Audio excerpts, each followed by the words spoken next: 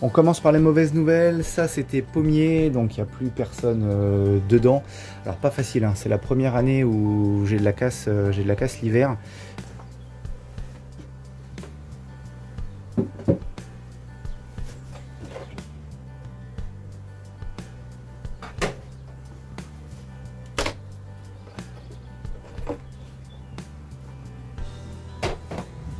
Alors, tout cet élément-là est complètement plein de plein de miel.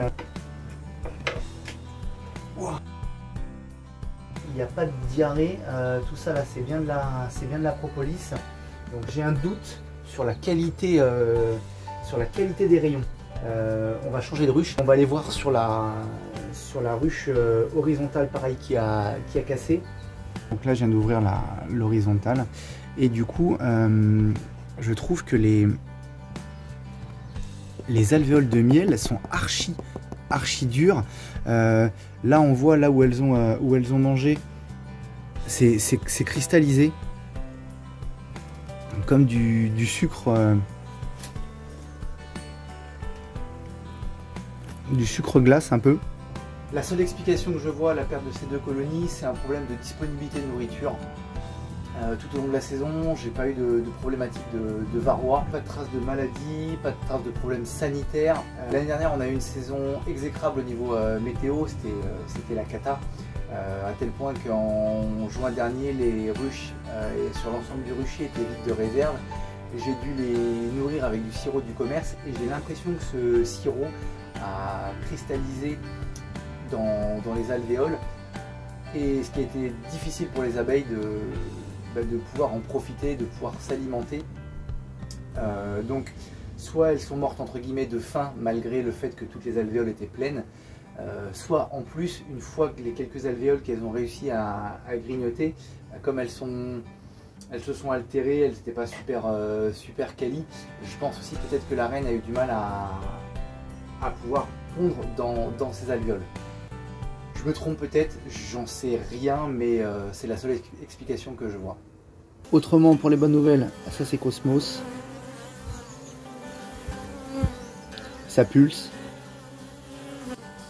Ça c'est la petite ortie. Ça c'est Consoude. S'il y a bien essaim sur lequel je misais pas cette année, c'était lui. Il était tout petit. Vu comment euh, boost Consoude, on va regarder ce qui se passe au niveau des vitres à l'arrière. Donc ça c'est l'élément l'élément du haut. Alors ça s'active fort. Et on va aller voir sur le dernier étage, l'étage que j'appelle le vide sanitaire. Ah bah Là, il y a le comité d'accueil. Bon, alors, elle, heureusement qu'il y a la vitre. Parce qu'elles font le job. Et oh là là Ah ouais Alors, je sais pas si vous allez voir, j'ai de vous faire une belle mise au point, mais ça commence déjà à bâtir. À mon avis, je vais devoir vite lui, lui mettre un élément à bâtir. Autrement, j'ai agrandi la dalle juste là. Voilà. Ça me, euh, permet de pouvoir entreposer euh, proprement euh, mon, élévateur à ruche. Et c'est aussi la perspective bah, plus tard de pouvoir accueillir une quatrième warée verticale à côté des trois copines.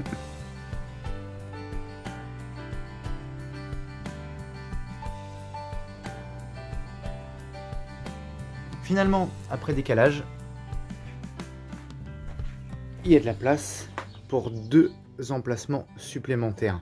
Alors ça ne veut pas dire qu'ils seront occupés cette année, hein, mais c'est histoire de préparer les saisons euh, futures. Alors là c'est la fête. Notre coq Pacha en profite avec ses poulettes là pour se pouiller. Donc là on est sous le rucher de la partie gauche. Là où il y avait donc euh, Mélisse la warée horizontale qu'on a perdu cet hiver. Là, jusqu'encore ce matin, aux aurores, il y avait la deuxième Waré horizontale euh, Cosmos. Donc elle, on l'a transférée chez mon cousin Clément. Euh, de manière à ce que je puisse récupérer la surface juste pour faire une jolie dalle et améliorer le, rucher. Il n'est pas encore 15h. Cosmos qui est arrivé ce matin chez le cousin à 7h a déjà repris une belle activité. Ça fait plaisir à voir. Allez les filles, je finis les travaux au rucher et je reviens vous chercher. La dalle est faite et je suis plutôt satisfait du résultat.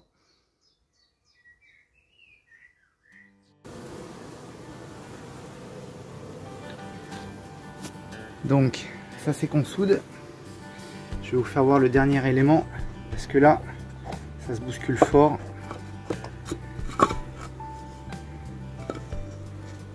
Regardez-moi ces jolis rayons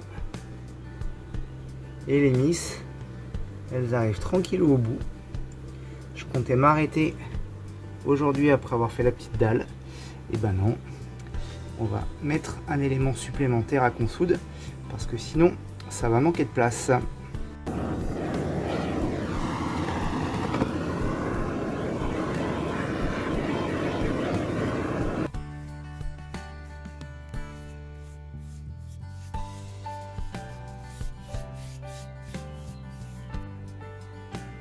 L'enfumoir est prêt. L'élément et le plancher propre sont prêts. Et puis bah, pour info, j'ai pris le temps d'amorcer les, euh, barrettes. Voilà, c'est un petit plus, c'est pas nécessaire dans ce type de ruche, mais euh, j'aime bien le faire.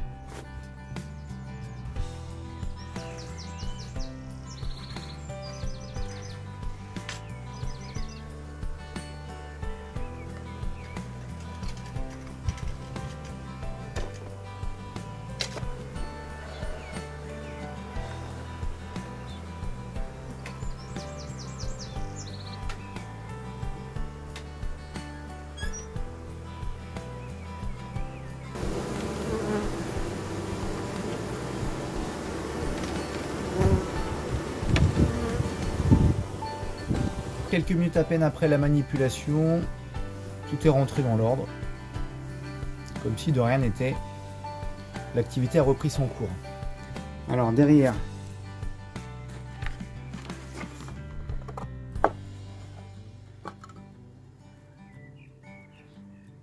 eh ben, ça bosse toujours, hein, bien évidemment. Ah, ils sont magnifiques ces rayons, tout en cire